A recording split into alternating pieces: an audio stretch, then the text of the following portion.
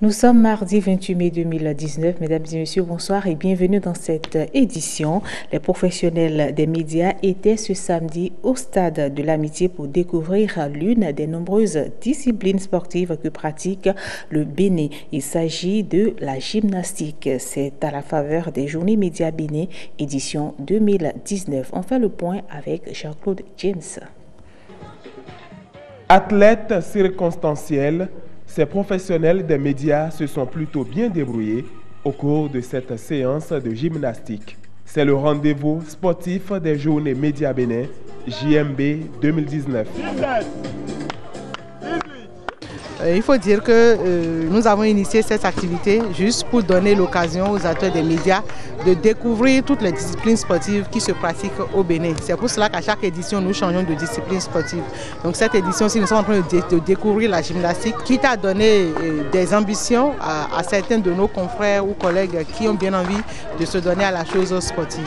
Pourquoi une telle initiative de l'association Elan Média?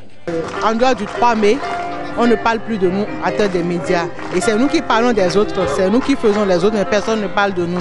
Et puisque euh, les circonstances ont fait qu'on nous a accordé une journée, on s'est dit, mais pourquoi ne pas profiter de cette journée pour parler de nous tout au long peut-être d'une semaine, et si ça peut arriver tout au long du mois. Du côté des responsables de la Fédération béninoise de gymnastique et des participants, les impressions sont plutôt bonnes.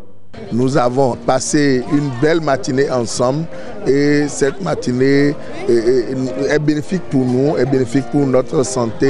J'aurais souhaité déjà que cela nous donne des idées de pouvoir monter un club. Je dois dire que je suis entièrement satisfait et positivement surpris parce que je ne pensais pas découvrir ce que j'ai découvert aujourd'hui.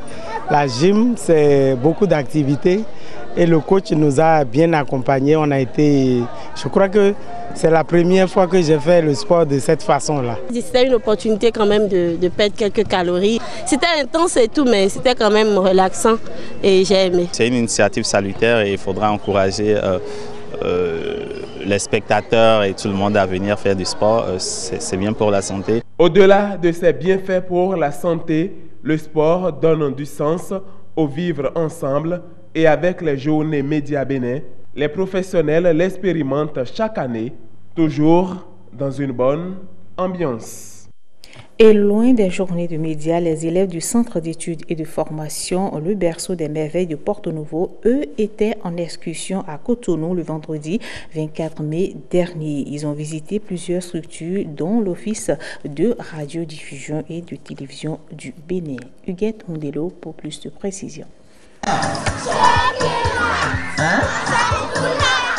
Après l'effort, le réconfort, dit-on. Les élèves du Centre d'études Le Berceau des Merveilles de Porto Novo sont à Cotonou pour passer du bon temps après des mois de dur labeur. Ils ont visité l'Office de radiodiffusion et télévision du Bénin, le port autonome de Cotonou, avant de rejoindre la plage de Fidrosset, où certains parmi eux ont vu pour la première fois un avion de si près. J'ai visité un avion à la plage Fidrosset. Quand j'ai visité l'avion, j'ai remarqué qu'il y a une table pour les passagers. Je suis très contente d'avoir visité l'ORTB pour connaître les modes de communication et d'être allé au port autonome de Cotonou pour faire la différence entre les navires et les bateaux.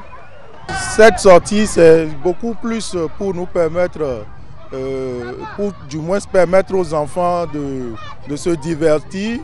Et nous, profitons aussi de cette journée pour dire aux autres parents qui sont dans la ville de Porte-Nouveau que bientôt ce serait la rentrée scolaire 2019-2020. Donc nous les invitons à venir inscrire leurs enfants pour pouvoir vivre des moments merveilleux avec nous euh, au berceau des merveilles. Le Centre d'études et de formation Le Berceau des Merveilles est créé en 2004 par un groupe de jeunes composé en majorité d'enseignants. C'est une école bilingue qui dispose d'une crèche-garderie, d'une maternelle, d'un cours primaire et d'un collège. Le centre est situé au quartier René à Porto Fin en apothéose du jeu concours MTN Promo Foot à l'issue d'une compétition qui exige une grande culture du football. 125 abonnés MTN en sont sortis gagnants sur les 3 millions de joueurs. Au nombre des lots distribués, un chèque de 10 millions de francs CFA empoché par David Olodo. Reportage. C'était vraiment c'était une surprise. Surpris et ému, David Olodo s'en remet à son dernier recours à la réception de son pactole. Dieu, en français, dans nos langues, Olorum, Mao, Allah, Gusula. Voilà, je commence par lui d'abord. Le septiagénaire, ancien arbitre de district, tire le gros lot du jeu concours MTN Promo Foot. Sur les 3 millions de compétiteurs au départ, l'heureux du jour s'en sort grâce à sa culture de foot, son endurance et par ricochet, son facteur chance. C'est un jeu passionnant, instructif, avait fait une bonne performance. Mais néanmoins, j'étais comme un Thomas de la Bible de voir d'abord de croire. Je remercie tous ceux qui sont impliqués dans cette organisation. Lancé le 13 novembre 2018, MTN Promo Foot, un jeu de questions-réponses s'est étendu sur 90 jours et prime à l'arrivée 125 joueurs. Ce n'est pas la première fois que MTN euh, gratifie ses abonnés à travers l'organisation des campagnes promotionnelles. Euh, ce jeu consistait juste aux abonnés passionnés du foot de, répondre à des questions au 110-60 et qui leur prenaient 100 francs et le tout est joué. Nous avons donné aussi des écrans, euh, des téléphones portables, des abonnements canal et ce euh, jeu euh, promotionnel que nous avons organisé est fait dans le respect du règlement de notre marché, c'est-à-dire le jeu doit être autorisé d'abord par la Loterie nationale du Bénin, ensuite par notre organe de régulation ACEPT, et c'est suite à ça que nous lançons euh, le jeu sur euh, le marché béninois. Et durant cette année, nous avons aussi euh, organisé d'autres jeux pour faire plaisir, pour dire merci à nos abonnés MTN face au scepticisme de certains abonnés sur la crédibilité du jeu dans un monde où l'ANAC fait loi, cette cérémonie officielle de remise de prix vient rassurer les abonnés du réseau mobile MTN Bénin. Fête des moissons ce dimanche 26 mai à la paroisse Grâce divine de Godemé Togoudou. Les fidèles de la paroisse et leurs invités ont saisi l'occasion pour rendre gloire à l'Éternel. Reportage. La fête des moissons est célébrée chaque année chez les chrétiens célestes pour rendre grâce à Dieu. C'est le tour des fidèles de la paroisse Grâce divine de Godometo de témoigner leur reconnaissance à Dieu en présentant à son autel les prémices de leur récolte et recevoir en retour des bénédictions. Il est dit dans la Bible qu'en une année, tous les enfants de Jésus-Christ doivent présenter la moisson ce que Dieu vous a donné, vous devez en principe retourner une partie pour lui rendre grâce, pour lui dire merci. C'est dans ce cadre-là que notre paroisse fête aujourd'hui la fête de moisson, conformément aux Écritures saintes. Une formation en entrepreneuriat a été initiée à l'endroit des jeunes de la paroisse lors de la dernière fête des moissons.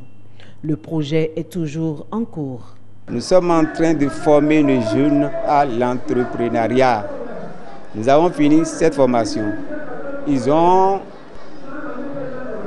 ils ont déjà, avec l'aide du consultant que nous avons pris, ils ont déjà élaboré tous leurs projets.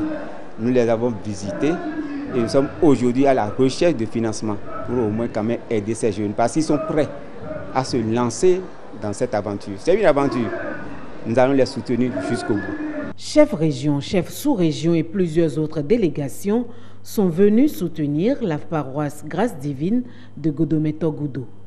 Au-delà du devoir de reconnaissance envers Dieu, la fête des moissons reste une occasion de retrouvailles et de grande réjouissance.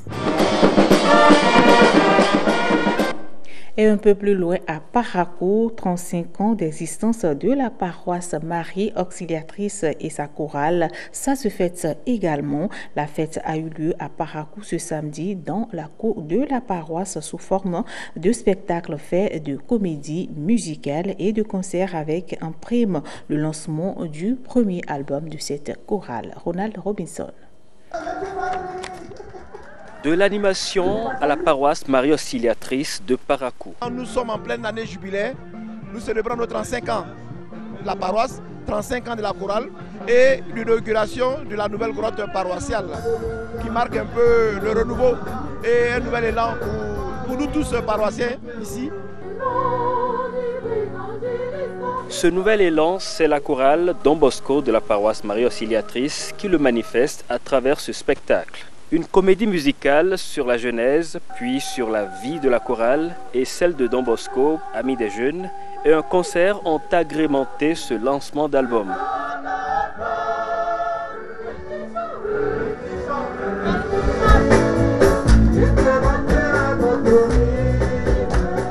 L'heure a sonné pour la sortie de ce premier album de la chorale Don Bosco qui marque ses 35 ans d'existence. Un opus en deux volumes de six titres chacun en hommage à Don Bosco et à la jeunesse avec des sonorités assez variées. Une fierté doublée d'un ouf de soulagement pour ceux qui y ont contribué. Aujourd'hui, c'est le fruit d'un travail formidable qui a été réalisé. C'est un soulagement, c'est un sentiment de joie pour moi et mon épouse. Quand je joue la maquette, euh, il y a un morceau qui s'adresse à la Vierge Marie, que j'ai déjà joué plusieurs fois dans mon bureau, sur mon micro.